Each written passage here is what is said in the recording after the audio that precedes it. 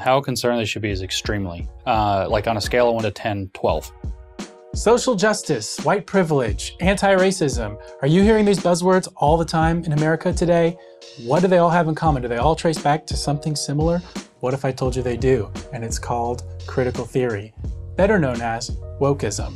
I'm Taylor Trandahl with PragerU, and joining us today is one of the world's foremost experts on critical theory or the wokeism movement. He's also one of the world's foremost critics of it, and his name is James Lindsay. James, thank you so much for joining us. Thanks for having me. I saw the other day that uh, Richard Dawkins gave you a shout out on on yeah. Twitter and like endorsed your book, um, Cynical Theories, which people should check out.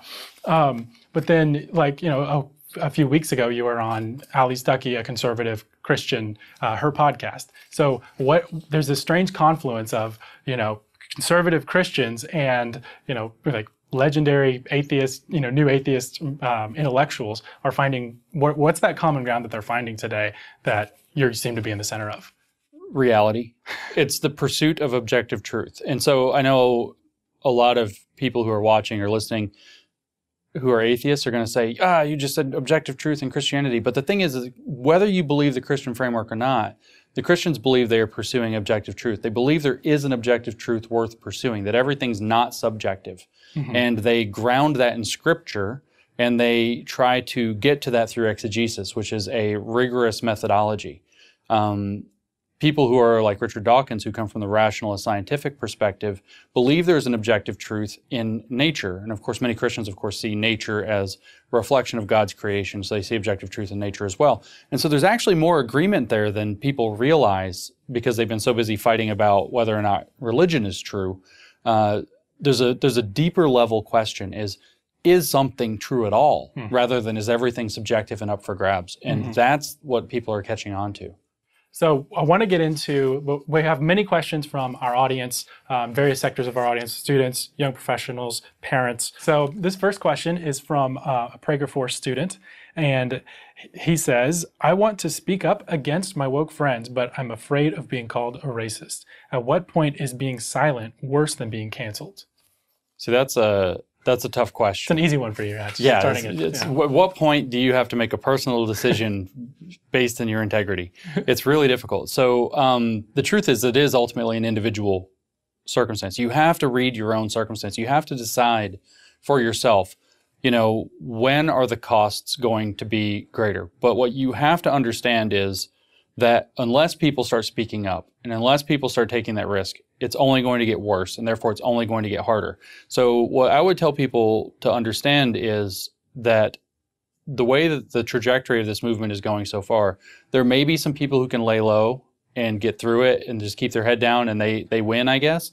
But the truth is, the longer you wait to speak up, the harder it is. Hmm. As hard as it is now, it will only become harder to to resist later. Um, so I advise people like that to, to do what they feel like they can. There are other ways than just speaking up and speaking back. There are other ways. Uh, if, if you listen to uh, Alexander Solzhenitsyn uh, in Gulag Archipelago, he, he says, you know, let the lie come into the world, let it triumph even, but not through me. Hmm. So find ways to live in your own integrity and make that you have to make those decisions for yourself. I can't tell somebody, yeah, now's the time to just blow up your career or lose all your friends. Right. That's great. That's really good advice. Okay, so we've got another question from a Prager Force student here. She says, I think many of my woke friends and family started down the path with good intentions, just wanting to be against racism and for equality. But it seems like all of a sudden they're talking about dismantling capitalism, they're justifying violence um, as long as it's on their side, and ignoring any facts that contradict their narrative. Why does this seem to brainwash people so quickly? And is it even possible to wake up someone who's woke? That's a another simple one for you. No, that one's really hard. In fact, that one's really hard. I honestly, so woke is like a. You, I hate to say it this way, given the circumstances, but woke is like a spectrum. Um, but you could think of it like with, with with a religion, like with Christianity. You've got like probably the pastors really into it, the theologians are really really into it, and then you have kind of people who go to church and they really they try to be serious and they're varying degrees of serious. Then you have that you know, yeah, I'm a Christian, but they probably haven't been to church in like three months. You have the same things happening in woke. So yeah. when you say, can you wake up a woke person? The question is, how far in are they? Are they like all out? If they're already defending violence, you're probably going to have a hard time. Mm-hmm. If they're talking about dismantling capitalism and they're serious about it, you're probably going to have a hard time. If, however, they're kind of, you know, well, I put the black square on my Instagram or whatever, you can probably walk them back still. You can probably show them, you know, this is actually a lot scarier or this is a lot um, grosser. Neo-racist is a word that we've been using. It's not racist in the usual sense. It's this neo-racist and new racism that it's being reinstalled, and that's kind of gross, really. And you can kind of get that little bit of a gag reflex. You can get them to laugh a little bit and say, "Yeah, that is kind of silly," you know. Mm-hmm. If you can show them places where the theory is self-contradictory or where where the activities look like they're self-serving or whatever. So you can, if they're not too far in, wake them up. But if they've gone all the way in, this thing's like a cult, and you hmm. can't just wake a cult member up. And that's why it brainwashes people so quickly and effectively, is because it preys upon people's a desire to be a good person and b vulnerabilities that they might not be. Mm-hmm. And it's tapped so effectively into their social strata, right? Hmm. So somebody else was just asking, you know, well, I'll get I'll get canceled by all my friends. Well, it's so much easier to just start mouthing it and going along with it, and Right. then that social pressure just makes it so much stronger. So it's difficult, but uh, try to try to tell the truth, try to be uh, sensitive, and try to be open, because eventually the bubble will burst. And there, the the thing that's most important here is that when somebody comes out of the cult, whether it's woke or whether it's any other cult, you have to be willing and ready to welcome them and affirm them and say, you know what, it's not a big deal, let it go. We're all cool now. You know, you've got to you got to be there, give them an exit ramp, and then kind of love bomb them. To be honest Yeah. with you, Like, don't take this combative posture or you know beat them down. I mean, they yeah, like don't be like, look what you did. Can you see how terrible you were? You know, you were crazy. But that's not going to help. Invite them in. lo- You know, glad you're here. Yeah, exactly. Glad you're here. Welcome to the club of reality. Or Yeah. back in. Welcome back. Moving to this is a question from uh, a young professional audience. He says, "My work has just scheduled a training seminar about diversity, equity, and inclusion. Does this mean that they're teaching critical race theory? And should I refuse to participate, or at what point should I draw the line?" All right, so this is tricky. Uh, again, I can't get you fired, but okay, are they teaching critical race theory? It is. I can't say for sure that they are. It is possible to teach these things without it, and there are a handful of programs that teach it, teach diversity or whatever, do diversity training without it. Um, there are a growing number of them. I know that because some of them are asking me how to help design them. So I know people are trying to create alternative diversity training. So it's not guaranteed. That said, the overwhelming majority of these trainings are based in critical race theory, to where I would say that it's a virtual certainty that if somebody's taking it up at your workplace, unless it explicitly says we're not using critical race theory on purpose, it probably does. Um, should you participate? I don't know. It's up to you and your situation. If you've got like a kid at home and you've got to keep the paycheck, you've got to check in with yourself, right? Um, same advice I gave earlier applies though. The longer you wait, the harder it gets. The longer you wait, the harder to live with yourself it's going to get. Uh, I have heard a lot of success though, because a lot of people in the business world and even in the po- political world aren't that aware of it. This is usually being pushed by a fairly small number of activists. So if you get a little bit informed about this, and then you go talk to your boss, and I've published some resources on my website, New Discourses, about what you can actually say.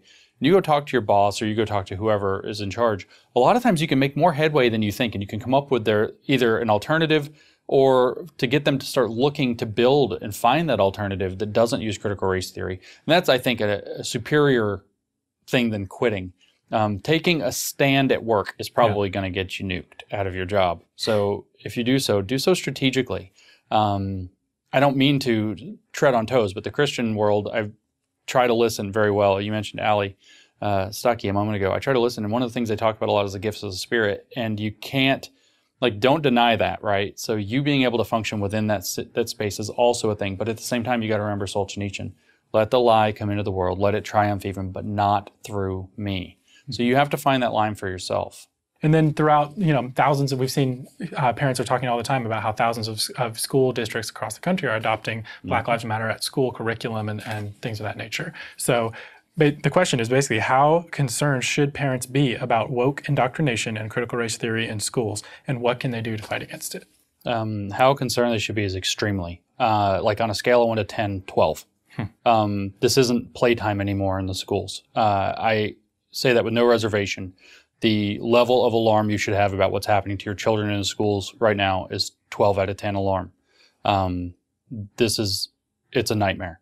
It is an absolute nightmare. It's in most, if not all, schools. People think, oh, well, I can pull them out and put them in, a, in private school. It's in most, if not all, private schools. Even big religious private schools are taking it up. There's not any like kind of safe harbor. Um, and it's a real emergency because you're going to be spending all of your time basically learning about this and trying to deprogram your kids instead of genuinely bonding with them or spending time with them you know, and if you want to try to prevent it, or you're going to have to try to homeschool, but they will probably try to outlaw that to, to get around that or to force particular curriculum. You really think that's coming? Would, I almost guarantee wow. you that it's coming.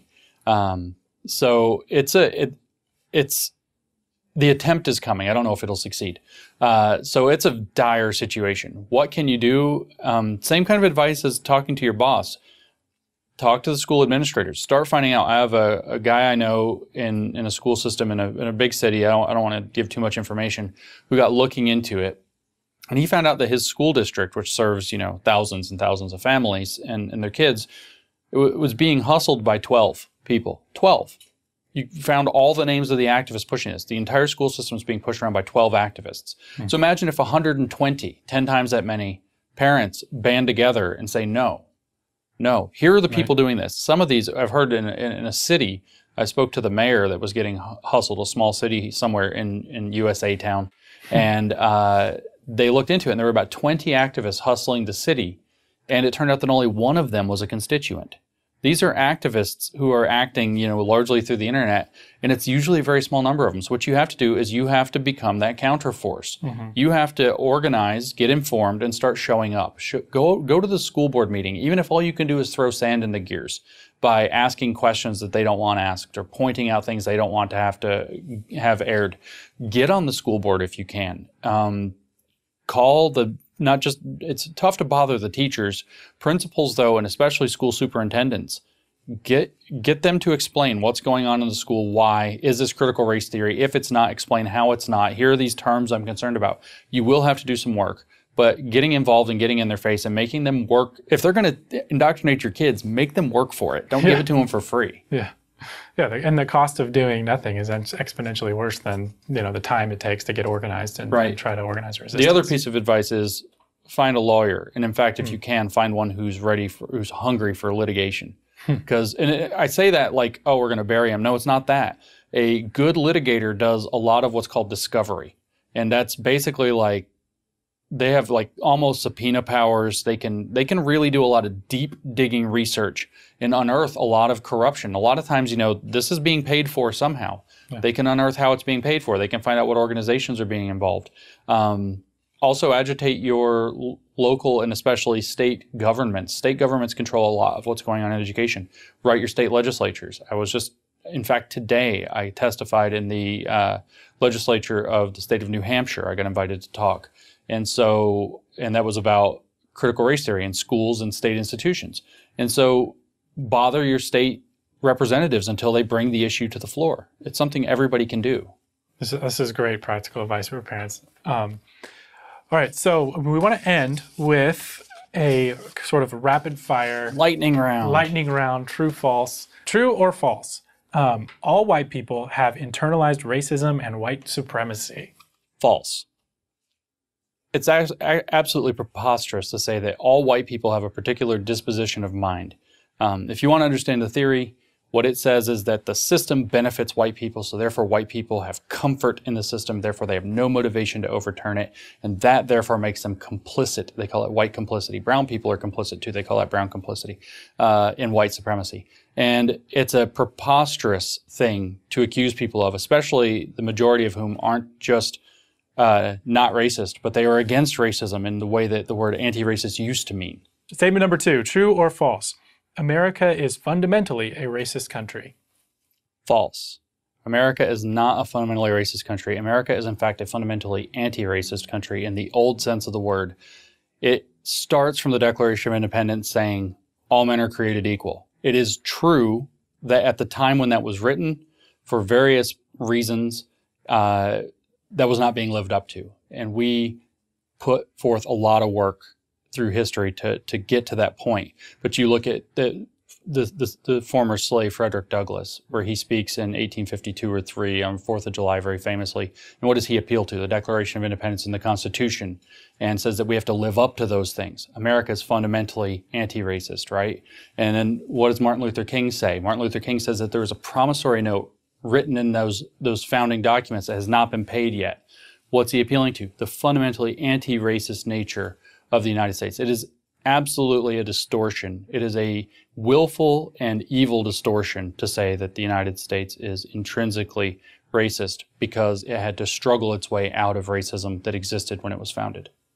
I love it. Yeah, there's there's no reason to deny the incremental progress. That's that's literally what sort of liberalism and enlightenment values the, and Judeo-Christian values uh, allow for that. But right. this, this neo-Marxist woke worldview doesn't allow for that incremental progress. It's we need to blow up the entire system because it's fundamentally through and through racist. Yeah, they, they say that explicitly. The, the very first paragraph of the book, Critical Race Theory and Introduction, says that explicitly. They say, unlike traditional approaches to civil rights, which value step-by-step and incremental progress, we have this other thing that completely repudiates the liberal order. They, they say it explicitly. Not even hiding it. Not first paragraph, not even yeah. trying to hide it. yeah, don't bury the lead, as they say. Yeah. All right, last question we have in our rapid fire true and false session. This one is true or false? The end goal of wokeism is a Marxist revolution in America. This is Jeopardy theme song time. That is more true than false, but it's complicated. With a little bit of it, it's complicated.